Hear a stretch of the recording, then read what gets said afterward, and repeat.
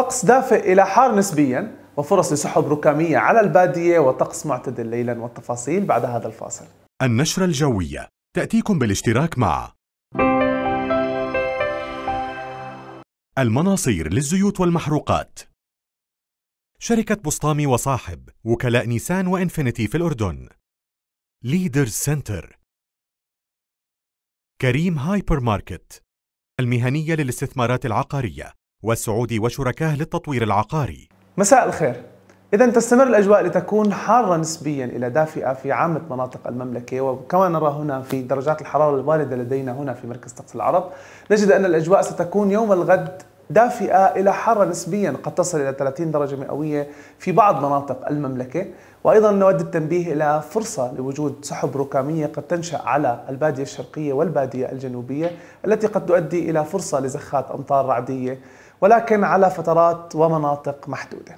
إذا ننتقل سوية لمعرفة درجات الحرارة المتوقعة لهذه الليلة في العاصمة عمان حيث تكون هنالك غيوم متفرقة وتكون درجة الحرارة 19 درجة مئوية وسرعة الرياح متوقع أن تصل إلى 12 كيلومتر في الساعة. ننتقل لمعرفة ثلاثة أيام القادمة ودرجات الحرارة المتوقعة في العاصمة عمان أيضا. يوم الأربعاء من 28 درجة مئوية إلى 17 درجة ليلا.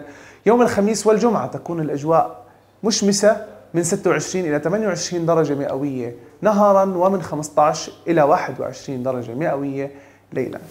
ننتقل سوية لمعرفة درجات الحرارة المتوقعة ليوم الغد في معظم مناطق المملكة ونبدأها شمالا من إربد من 29 إلى 16 درجة مئوية في المفرق فرصة لوجود أمطار رعدية من 31 إلى 17 درجة مئوية في جرش من 31 إلى 19 وفي عجلون من 27 إلى 16 درجة مئوية. ننتقل إلى المناطق الوسطى في الزرقاء. متوقع أن يكون هنالك زخات أمطار رعدية أيضا في 32 إلى 19 درجة مئوية في عمان من 28 إلى 17 درجة مئوية ليلا في البلقاء من 28 إلى 17 درجة مئوية في مادبة من 29 إلى 18 وفي البحر الميت الأجواء ستكون حارة نسبيا من 37 إلى 23 درجة مئوية ليلا. ننتقل جنوبا من الكرك.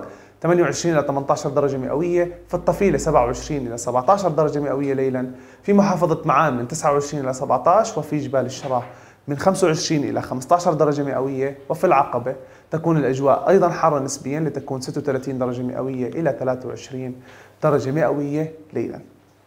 في المنطقة الشرقية فرص لأمطار وزخات رعدية من 32 إلى 20 درجة مئوية في رويشد في الصفاوي من 32 إلى 19 درجة مئوية وفي الأزرق أيضا من 34 إلى 21 درجة مئوية. كانت هذه أبرز المعلومات الواردة لدينا هنا في مركز طقس العرب. إلى أن نلتقي في نشرات قادمة. دمتم في أمان الله. النشرة الجوية. تأتيكم بالاشتراك مع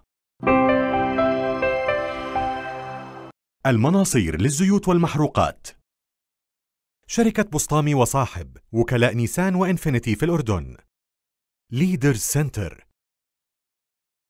كريم هايبر ماركت المهنية للاستثمارات العقارية والسعودي وشركاه للتطوير العقاري.